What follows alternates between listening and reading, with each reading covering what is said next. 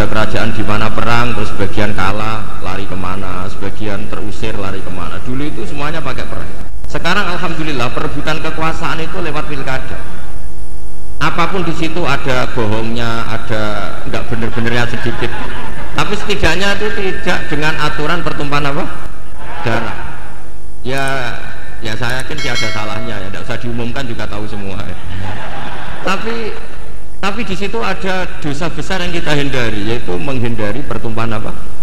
Darah. Ini sudah membaik. Dari dulu perebutan kekuasaan lewat pertumpahan darah sekarang lewat seni merebut hatinya masyarakat. Kalau masyarakat sukanya senyum ya dikasih senyum. Kalau sukanya uang ya ya tidak tahu ya. Boleh masalah. Boleh masalah karena memang yang namanya pilkada itu merebut hati pemilih masalahnya terus kaifiahnya itu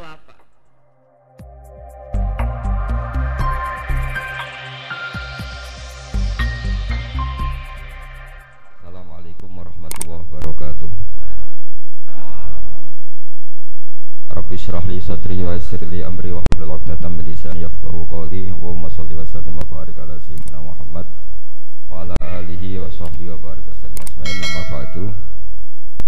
Yang sangat saya hormati Kiai Haji Uksid Idris dan para habaib, para masa yang saya hormati. Wabil khusus eh, senior kami di pondok Bapak Hafidin teman sekaligus putra guru saya Kiai Abdul Ghafur Eh, saya akan baca tentang bab mujaddid mujaddid itu adalah orang yang dipercayai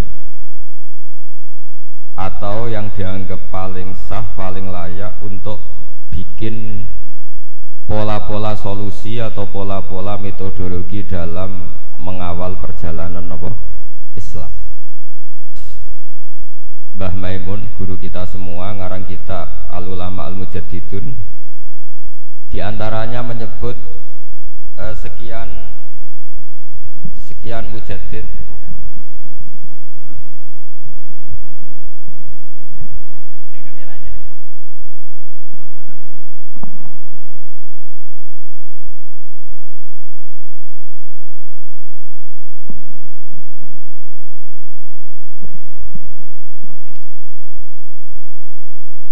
Eh, saya teruskan ya.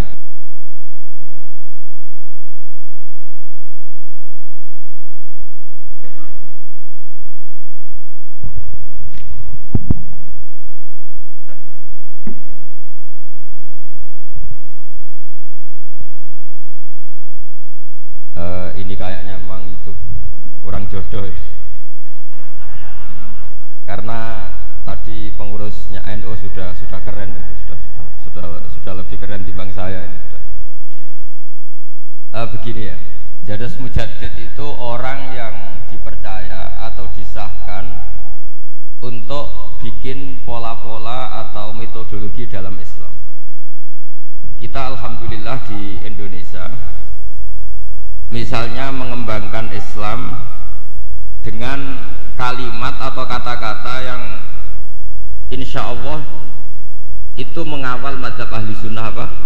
wal jamaah misalnya contoh yang sering saya sebut setiap dari kita itu selalu kalau baca sholawat wassalatu wassalamu ala sayyidina Muhammadin wa ala alihi wa sahbihi ajmain dan untuk semua sahabat semuanya kata semuanya adalah kalimatun farikoh kalimatun fasilah atau kaulun fasil atau kaulun faslun ahli sunnah itu siapa? adalah orang yang menghormati semua apa?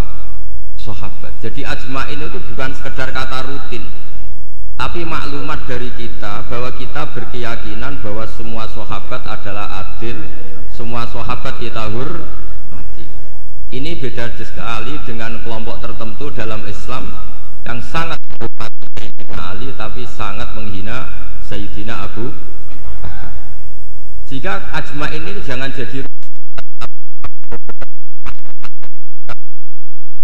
orang untuk anak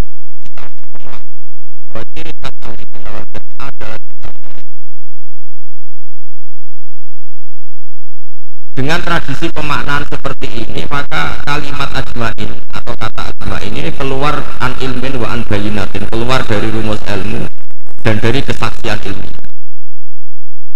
Kesaksian ilmiah misalnya begini. Andai kan Abu Bakar itu malun orang yang kena laknat berarti Nabi itu salah pilih teman. Andai kan Sayyidah Aisyah itu malunah berarti Nabi salah pilih istri. Jadi ketika kita tidak bisa detail secara ilmiah dengan argumentasi secara ilmiah, setidaknya kita memaklumatkan secara ijmal bahwa kita adalah menghormati wasofi ajmal.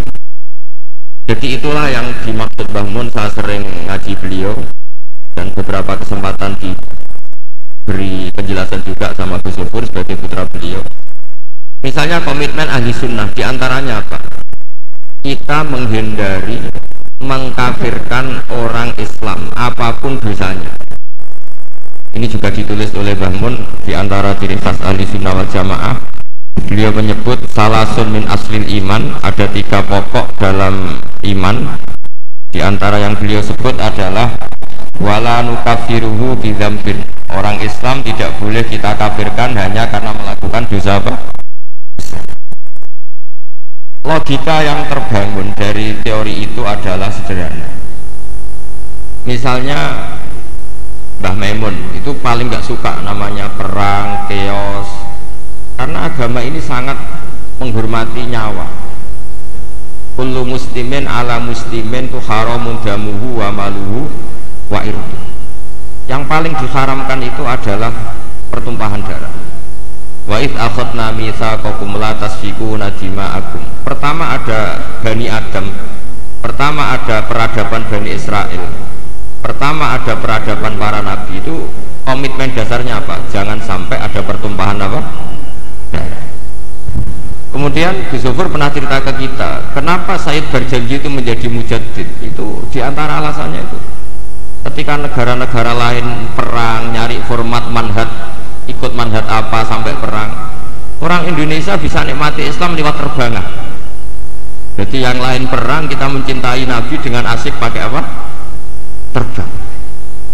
Sudah terbangan berstatus mahabbah kepada Rasulullah Shallallahu Alaihi Wasallam. Ini yang harus kita kembangkan. Sehingga saya berharap fikih pilkada ya fikih apa? Pilkada. Yang tadi disindir katanya datang ikhlas tidak demi apa tadi?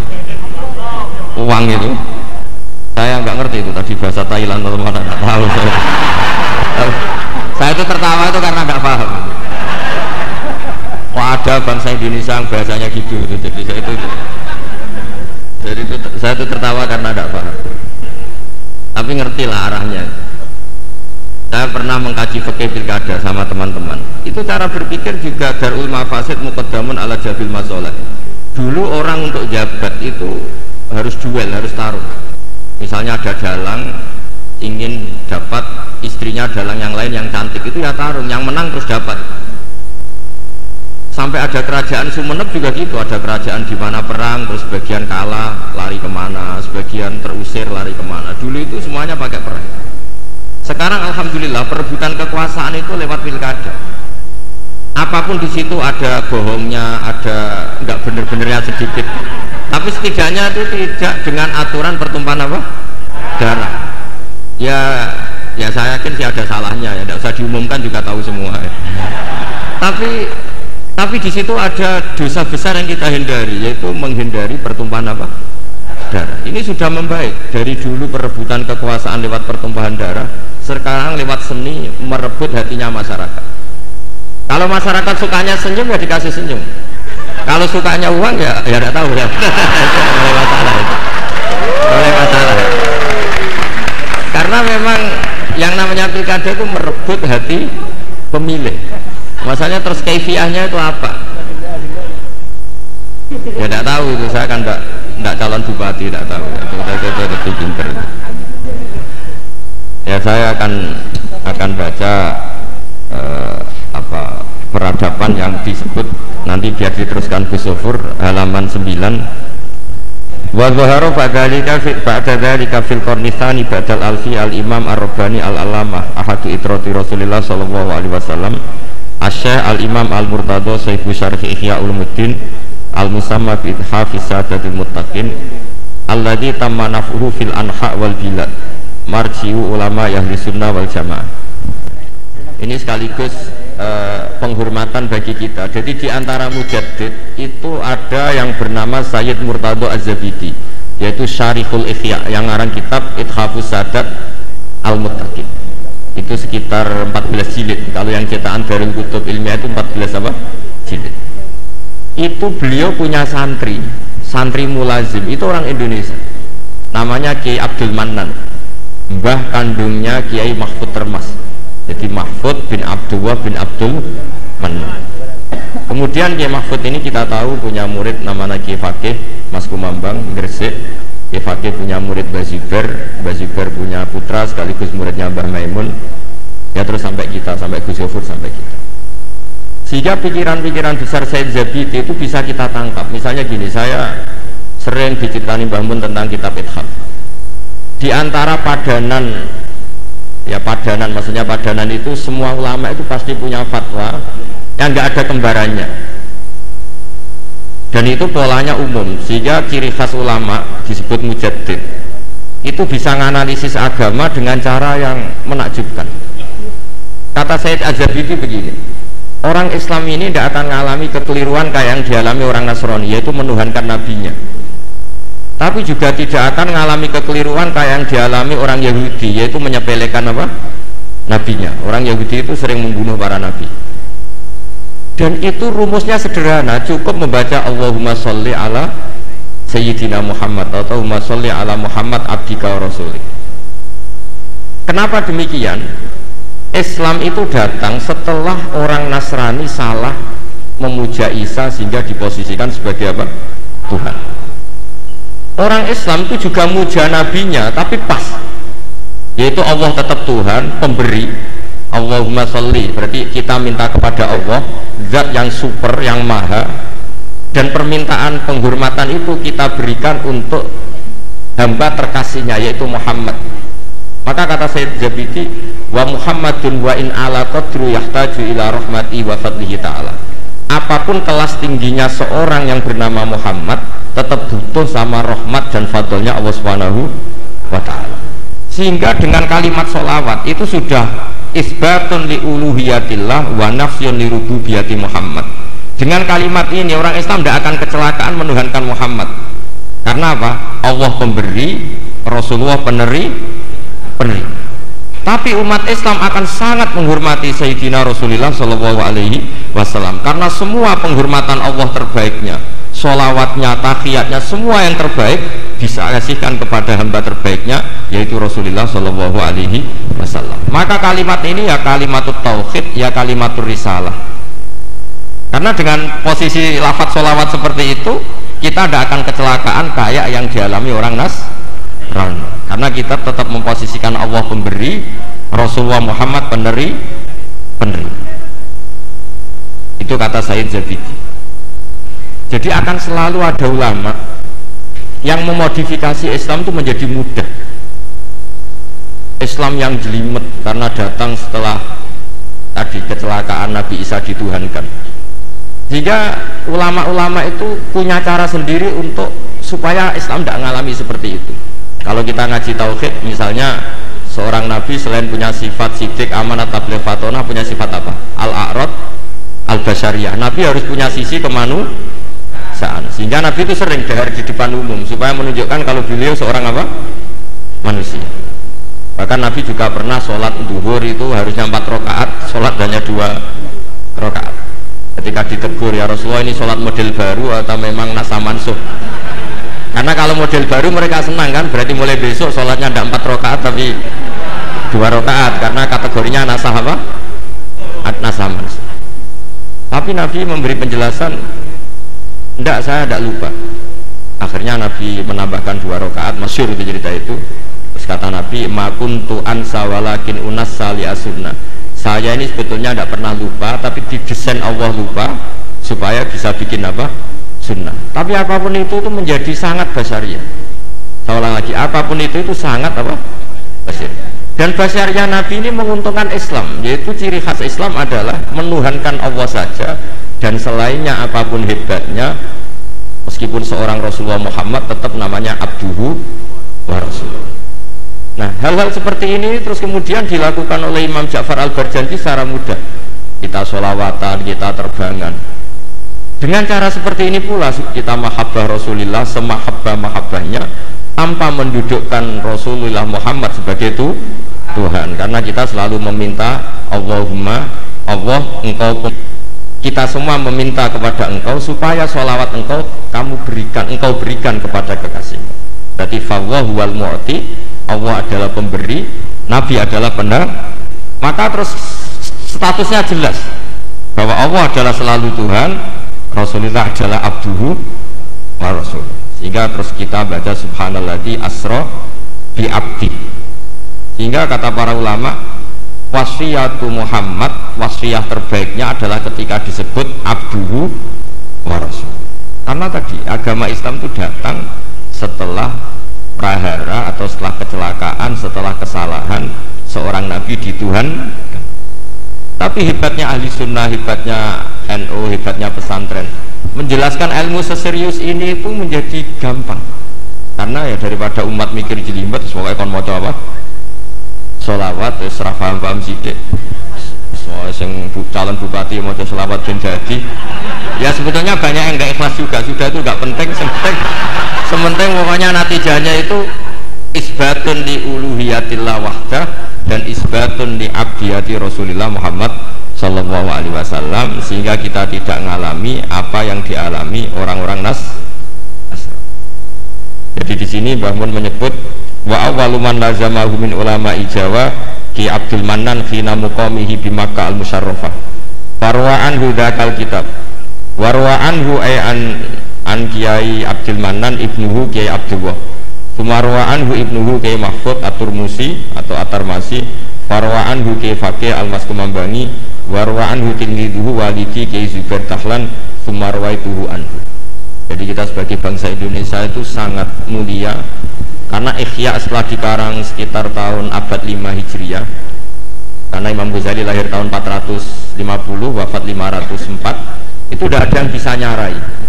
Tidak ada atau tidak berani karena ini terkenal wali Imam Ghazali baru disarai itu 600 tahun kemudian.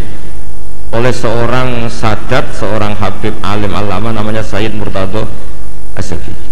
Dan itu dilalah di antara murid mulazimnya itu orang Indonesia namanya Syekh Abdul Manan makanya saya masih ingat ceritanya Mbah Mun.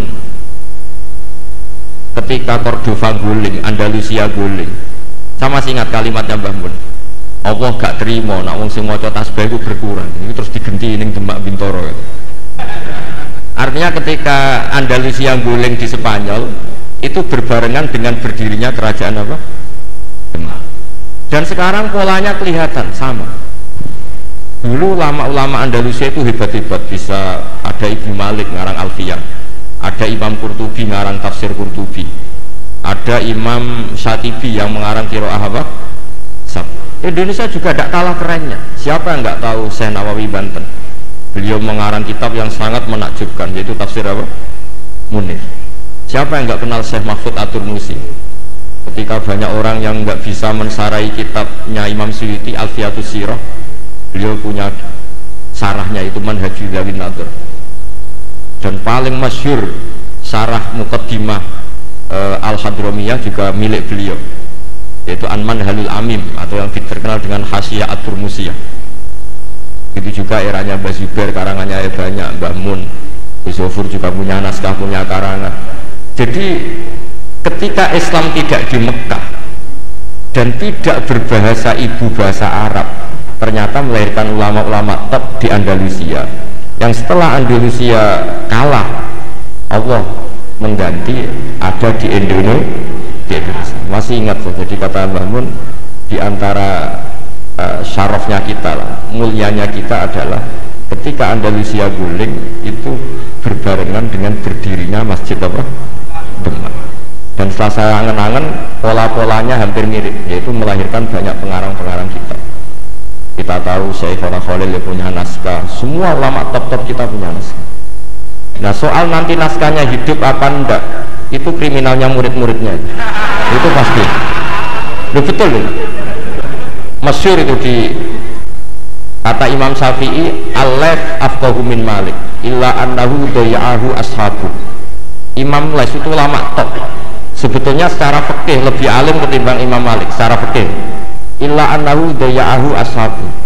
Tapi murid-muridnya yang sembrono Lu coba misalnya mbah kamu alim ngarang kitab putu nera alim mesti gak jimat tak jamin ya. Padahal itu bab istinja ya. tapi tetap gak jimat. Ya gara-gara makanya saya berkomitmen sama Gus Zuhur untuk terus baca kitabnya Mbah Mun. Karena pasti murid top itu terserah apa guru top itu terserah muridnya. Itu sudah jelas halnya Bazuber andekan tidak punya putra bangun. Mungkin nggak serame itu. Orang nggak bahas Bazuber lagi andekan tidak ada Andai kan bangun tidak punya murid-murid, tak punya apa utamanya putra-putranya, mungkin orang nggak bahas bangun lagi suatu saat.